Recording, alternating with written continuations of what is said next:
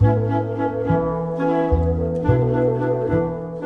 una tradizione che va avanti da quanto tempo? La celebrazione della festa della Madonna dei Fiori. Allora, la festa della Madonna dei Fiori eh, quest'anno sono 66 anni. È stata mh, celebrata la prima messa 65 anni fa, come dicevo, per un ringraziamento, in quanto qua nella, nella nostra frazione c'erano eh, orti, fiori e pesche e frutta e quindi si è voluto dire a fine raccolto ad agosto facciamo, facciamo una messa di ringraziamento per il buon raccolto.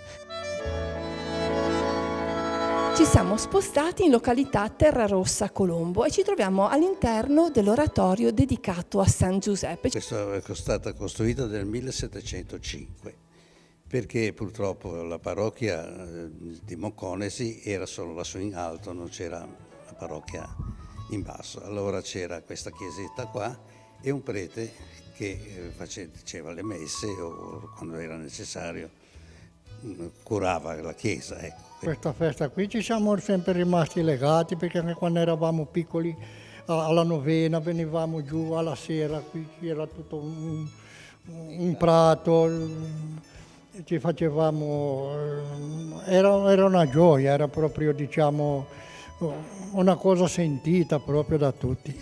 Ero piccola, aspettavo per mangiare la torta perché non eravamo poveri e allora quando era San Giuseppe invitavo dei miei cugini, venivano, mia mamma faceva la torta, poi venivamo, si accontentavamo di andare a messa e al vespro perché non c'era niente.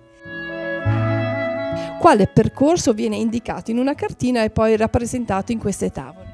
Dunque il percorso parte da qua detta via del pane perché attraversando il Lavagna sul ponte del Fieschi che è del 1200 e arriva su a Tribonia, poi sino a Calcinara, in Corno e poi scende a Quinto. E in effetti era il percorso che facevano gli avi di Colombo